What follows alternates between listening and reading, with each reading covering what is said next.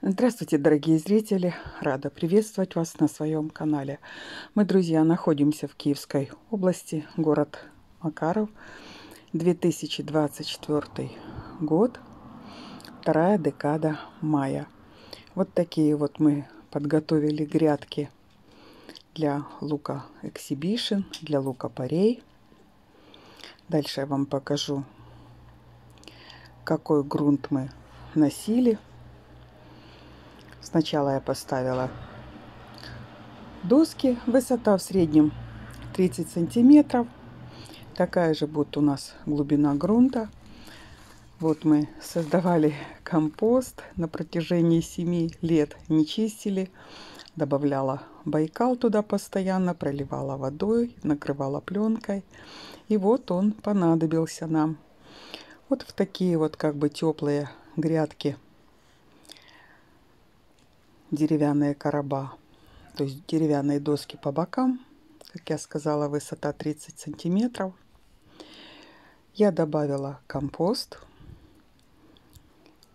Брала я его с самого низу. Он уже там перепрел очень хорошо. Мы на протяжении четырех или пяти лет занимались перепелами – инкубировали птицу, поэтому вот после инкубации остается яичная скорлупа. И вот все, конечно, мы выбрасывали в компост. Оно все перепревало, перегнивало. Повторяю, добавляла байкал. И компост получился очень рыхлый. Сейчас он нам, нас очень выручит. Как видите, мы сделали вот такие вот досточки – и вынимаем доски сначала все вверх. Потом я опустила три досточки, чтобы я могла спокойно снизу выбирать и верх не заваливался, он как бы держится. Очень удобно, мне муж сделал, мне очень понравилось. Поэтому одну третью короба мы высыпали, засыпали вот таким вот компостом. Потом второй слой получился у нас одна треть короба песок. Визуально все так вот на глаз, естественно. Все засыпали, оформляли. Песок обычный.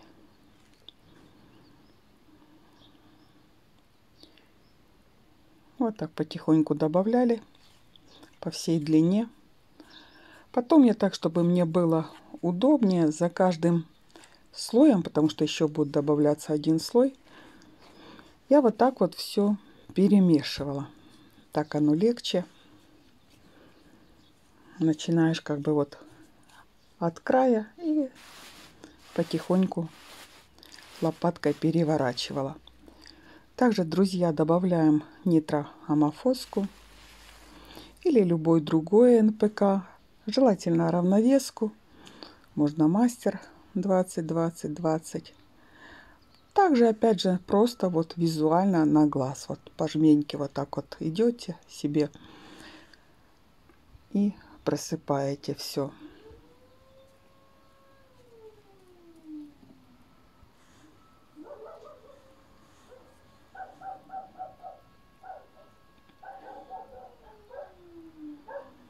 Это удобрение нам поможет в дальнейшем уже, когда лук уже будет хорошо развиваться, будет уже брать из почвы питание самостоятельно. И как раз нам это удобрение в почве и понадобится. Также, друзья, я все его перемешиваю. Пока там вот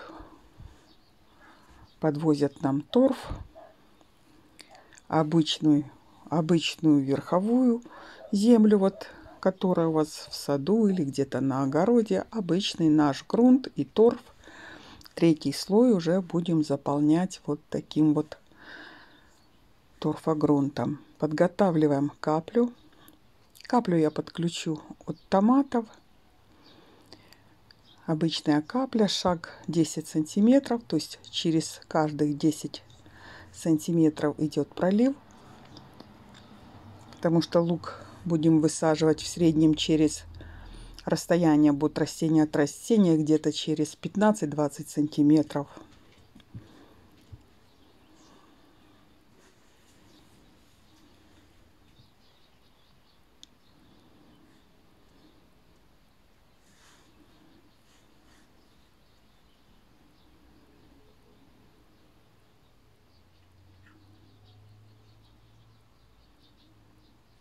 Потом в дальнейшем в эту грядку можно будет постепенно добавлять только вот компост или вот перегной.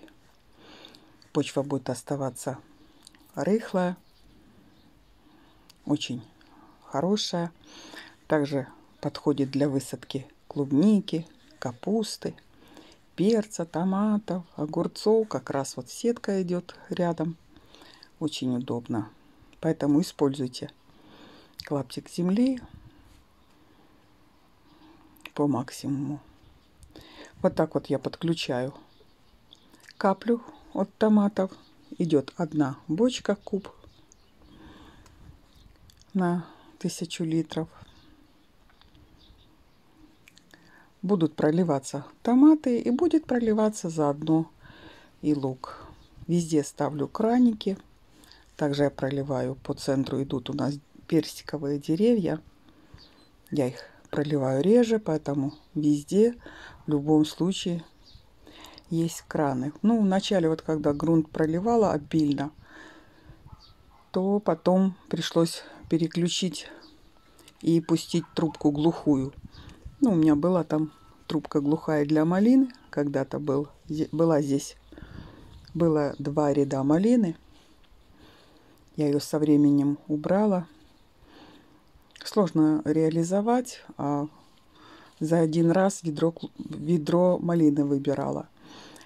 Где-то в среднем через два дня. И для Макарова рынок сбыта слабый, а ехать в Киев с ведром ты же, вы же не поедете. Конечно, мы все в лоточке, аккуратно. Ну, занималась несколько лет.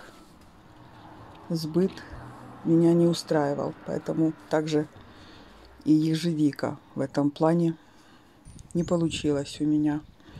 Поэтому перешли на голубику, так как она лучше сохраняется, более транспортабельная. Поэтому этот край решили использовать пока в таком направлении. А дальше посмотрим. Понравится, будем выращивать для себя лук. Лук употребляем мы много, больше, чем картошки. Поэтому очень хвалят этот лук Exhibition, что он очень крупный вырастает. Лук парей у меня есть видео, я вам показывала. Превосходный овощ, он мне очень нравится. Также будем высаживать и лук парей. Лук Exhibition и лук парей я буду высаживать через рассаду Поэтому дальше вам объясню, расскажу. Как вы видите, был третий грунт добавлен, торф и обычная вот земля. Также все перемешиваем. Закладываем уже капельную ленту. Накрываю агротканью. И буду делать дырочки в среднем через 15-20 сантиметров.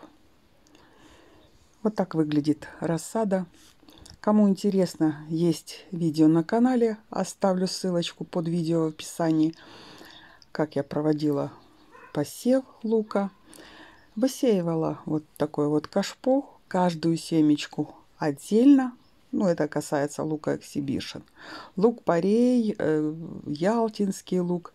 У меня там был еще были семена домашние, красный, салатный, белый салатный лук, то я просто так вот посеяла, э, не отделяла. А вот лук Exhibition первый раз я его выращиваю, то я уже так каждую семечку отдельно хочу посмотреть, что получится.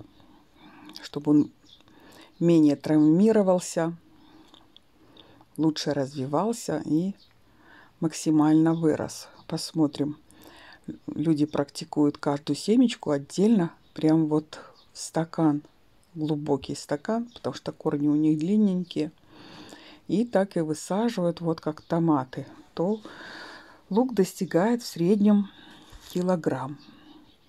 Плюс-минус.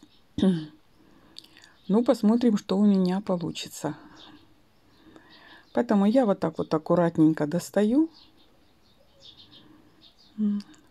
И буду высаживать в луночку. Высаживаем в луночку ровно так, по глубине, как он у вас сейчас сидит вот в земле. То есть не заглубляем, скажем так, вот шейку, как она есть у вас, вот так и высаживайте ее уже на постоянную грядку. Лучок я выращивала как рассаду без подсветки, просто на подоконнике. В процессе роста подстригала 3-4 раза. То есть перышки вот уже переросли в среднем где-то 10-15 сантиметров. И я вот подстригала его. Держала вот такую вот примерно длину. Эксибишн на стрижку очень хорошо реагирует. А вот крымский лук, салатный розовый красный у меня, повторяю, я выращивала без подсветки, то на стрижку сразу вот после первой стрижки крымский лук и салатный, вот обычные вот красный, салатный, белый, сразу перо поникло и пропало. Мне пришлось пересеивать. И крымский лук я пересеяла, и салатный лук пересеяла. Потом я уже стрижку не проводила. И он уже хоть как-то развивался. Возможно, без, потому что без подсветки, на подоконниках не очень светло. Потом я перенесла вообще в летнюю кухню неотапливаемую. Может быть, не были созданы вот такие вот идеальные условия, поэтому у меня такая история. Ну а вот лук Exhibition, он на стрижку замечательно реагировал, он в принципе не менял свое настроение, скажем так.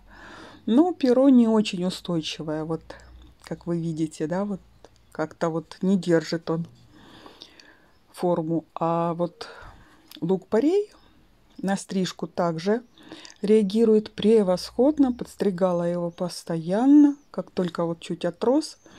Набирал он рост очень активно, без подсветки. И такой вот он стойкий, ну, прекрасно. Вот как рассада развивался, мне понравилось. Поэтому высадила я его посмотрим также, как он будет развиваться вот в таких условиях, потому что у меня есть видео, я просто высеивала лук-порей в междурядьях, где томаты. Ой, так это просто чудо, он и в зиму у меня ушел. Зимы были не холодные, и по весне стал развиваться. Ну, просто чудо. Головки были очень толстые такие вот даже вот где-то в диаметре, наверное, до 3-5 сантиметров лук доходил. Очень вкусный, сладкий. Посмотрим, повторяю, что у нас получится с эксибишеном, друзья. Поэтому подписывайтесь на канал. Будем выращивать вместе, наблюдать за развитием. Активно сейчас поливаю каждый день, включаю бочку и проливаю грунт. Буду проливать первые 7 дней каждый день. А потом уже посмотрю. Ну, буду стараться постоянно держать грунт влажный. В процессе развития и роста рассады я носила удобрения 13-40-13 фосфорные. Вот, поэтому Дальше буду также раз в 10 дней вносить удобрения. Сначала фосфорные, потом равновеску, потом калийное. Буду все-таки понемножку в каплю добавлять, так как я помидоры удобряю. И буду краник включать периодически, проливать и лучок. Посмотрим. Вот. Обрабатывать пока еще не знаю, буду или нет еще не приняла решение. Посмотрю, как будет развиваться. Вот. Все видео буду снимать, показывать, друзья. Это уже идет высадка лука-порей рядышком короб. Также высаживаем лук-порей, не углубляем. точно так же, вот как он сидел у нас в грунте, как рассада развивался, вот так вот стараемся его и посадить. Буквально немножечко придавили, все, оно водичкой будет поливаться, и вода сделает свое дело, она все утрамбует, все расставит по своим местам. Все, лук мы посадили. Также немножко там в конце я посадила крымский лучок. Посмотрим, как будет развиваться. И высадила салатный белый, салатный красный лук. С левой стороны понемногу у меня там была рассада, я ее посадила. Будем смотреть, наблюдать. Пусть растет, развивается.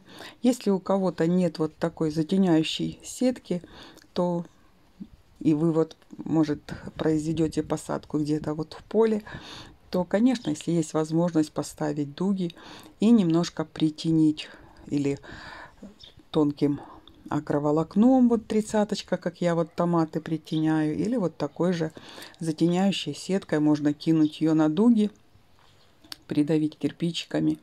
Так лучок будет еще лучше вначале развиваться. Но потом, конечно, уже когда он уже окрепнет, будет уже перышко подниматься вверх, тянуться к солнышку, тогда уже можно затенение убрать. Ну что ж, мои дорогие, не забудьте подписаться на канал. Впереди будет еще очень много интересного. Включайте колокольчик. До новых встреч, друзья. Пока-пока.